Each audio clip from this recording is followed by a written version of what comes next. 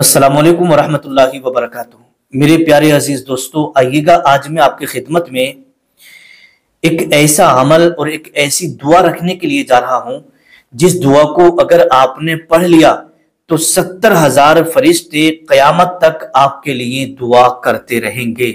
आखिर वो दुआ कौन सी है? बड़े ध्यान और बड़ी तवज्जो से इसे सुनिएगा और इस दुआ को याद करके इसे ज़रूर पढ़िएगा। एक दिन तो ऐसा आएगा कि हमें यहाँ से जाना है। हम यहाँ से चले जाएँगे हमारा इंतकाल हो जाएगा हम कब्र में पहुँच जाएँगे। लेकिन फरिश्ते हमारे लिए कयामत आने तक मगफिरत की दुआ करते रहेंगे। ए अल्लाह तू इसे बख्श दे। ए अल्लाह इसकी मगफिरत फरमा दे। अल्लाह तू इसकी मगफिरत फरमा दे।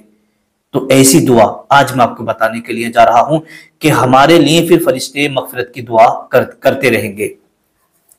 देखिएगा हुजूर सल्लल्लाहु अलैहि वसल्लम की बताई हुई दुआ है हज़रत इब्ने उमर रज़ी अल्लाह तहुमा से मरवी है कि नबी करीम वसल्लम ने इरशाद फरमाया कि जो कोई इस दुआ को पढ़ेगा तो अल्लाह तबारा का वाली उसके लिए एक हज़ार नेकियाँ लिखता है और एक हज़ार दराजात बुलंद फरमाता है और सत्तर हज़ार फरिश्ते अल्लाह पाक मुतन कर देता है। कितने फरिश्ते?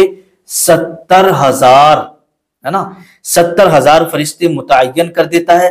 जो कयामत तक उस बंदे के लिए मगफिरत की दुआ करते रहते हैं।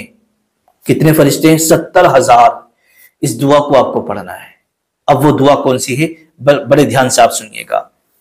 दुआ ये है, अल्हम्दुलिल्लाहिल्लज़ी तवादा कुल्लु शैइन लिआज़मतिही वल्हम्दुलिल्लाहिल्लज़ी ज़ल्ला कुल्लु शैइन लिइज़्ज़तिही वल्हम्दुलिल्लाहिल्लज़ी खदअ कुल्लु शैइन लिमलकिही वल्हम्दुलिल्लाहिल्लज़ी इस्तसलमा कुल्लु शैइन लिकुदरतिही। तबरानी के अंदर यह हदीस पाक मौजूद है और मौजबी कबीर के अंदर भी यह हदीस पाक आपको मिल जाएगी। और एक चीज़ मैं आपको ये बता दूँ, देखिएगा, जब इंसान का इंतकाल हो जाता है तो उससे पाँच ऐसे सवाल किए जाते हैं जो जिन सवालों का जवाब देने के लिए यूँ समझिएगा, बहुत कुछ इंसान को इस दुनिया के अंदर करना पड़ता है। इमाम तिरमिजी तिरमिजी शरीफ के अंदर इशाद फरमाते हैं, पहला सवाल उससे ये पूछा जाएगा कि तुमने अपनी उम्र को कहाँ गुजारा? ठीक है, अल्लाह तबारा का बताला उससे पूछेगा, बता तूने अपनी उम्र कहाँ गुजारी? नंबर दो, तुमने अपनी जवानी को कहाँ गुजारा? तीसरा सवाल उससे होगा, तुमने जो इल्म हासिल किया, उस पर कितना अमल किया? चौथा सवाल होगा, तुमने जो माल कमाया, उस माल को तुमने कहाँ पर खर्च किया? पांचवा चौथा सवाल होगा, तुमने जो माल कमाया, है ना? तुमने जो माल कमाया, उस माल को तुमने कहाँ पर खर्च किया?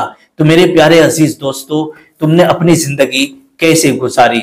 तो ये सवाल भी होंगे इनके जवाब देने के लिए आपको अपनी ज़िंदगी अच्छे से गुजारना है और सबसे पहली चीज़, आपको पाँचों वक्त की नमाज़ पढ़ना है, नेक अमाल करना है, गुनाहों से बचते रहना है, दुरुस्त शरीफ पढ़ते रहना है और ये जो दुआ मैंने आपको बताई है, ये दुआ आप ज़रूर पढ़िएगा ताकि सत्तर हज़ार फरिश्ते आपके लिए मफफरत की दुआ क्यामत तक करते रहें। असल वरहमतुल्लाह।